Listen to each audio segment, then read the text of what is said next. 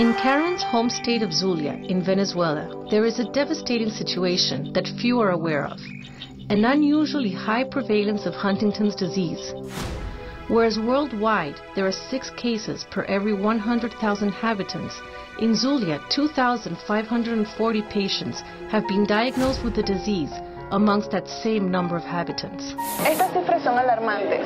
Cuando supe de esta dura realidad, me interesé por conocer más y comencé a investigar. Huntington's is a neurodegenerative genetic disease. The most common symptoms include involuntary movements, cognitive impairments such as loss of memory or learning difficulties, as well as psychiatric disorders such as depression and aggressive behavior. Conocí al doctor Ernesto Solís, quien es el coordinador del programa Huntington Zulia. Con él tuve la oportunidad de recorrer las poblaciones de San Luis y Barranquita. Estas poblaciones son las más afectadas por esta enfermedad en todo el mundo.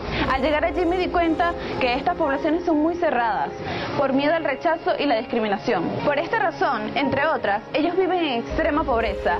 De allí parte la importancia de apoyar todos estos programas sociales. The key is to raise awareness amongst those affected by the disease, given that the risk of their children developing Huntington's is very high, and many of the inhabitants of these isolated communities continue having children. To date, the disease has no cure. However, symptoms can be alleviated by medication, which is now available, although costly. Quiero continuar trabajando con esta causa, porque mi meta es concienciar y mejorar la calidad de vida del enfermo de Huntington.